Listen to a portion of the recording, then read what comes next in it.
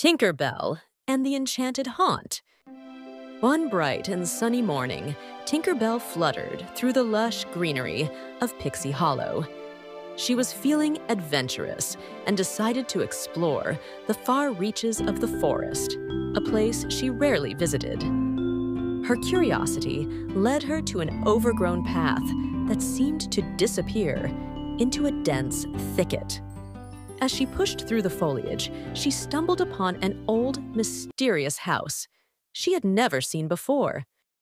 The house stood tall and eerie, with ivy crawling up, its walls and windows that seemed to have dark shadows moving behind them.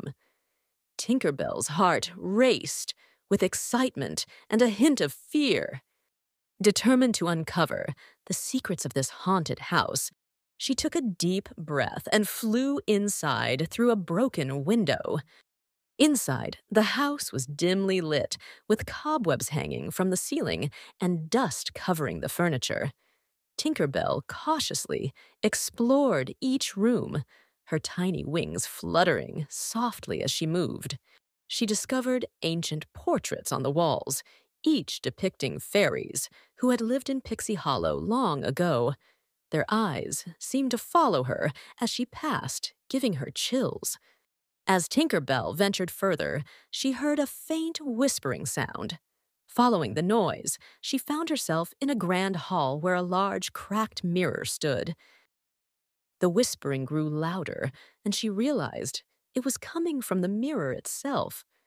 Curious, she approached it and saw a faint glow emanating from its surface. Suddenly, the mirror began to shimmer, and a ghostly figure of an old fairy appeared. Who dares to enter my home? The figure asked in a gentle but echoing voice.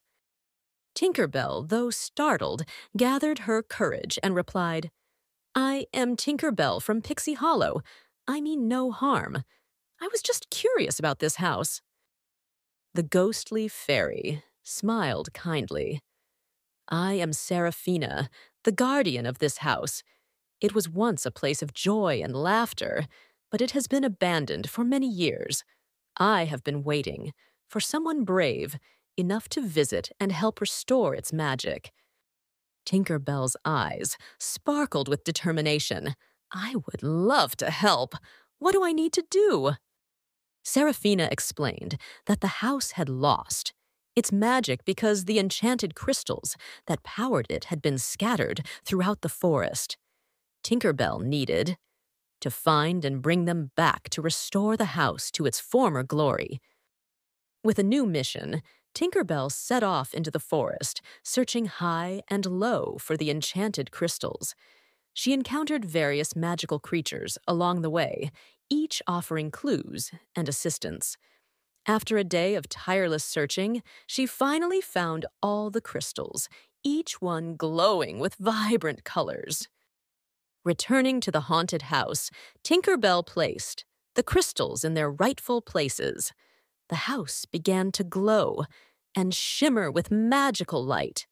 The cobwebs vanished, the dust lifted, and the once dark and eerie house transformed into a bright, welcoming home filled with enchantment.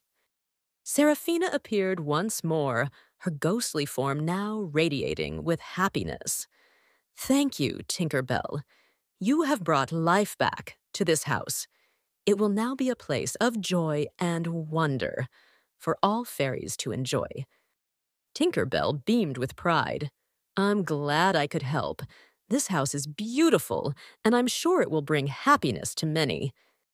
With a grateful heart, Tinker Bell bid farewell to Seraphina and flew back to Pixie Hollow, excited to share her incredible adventure with her friends.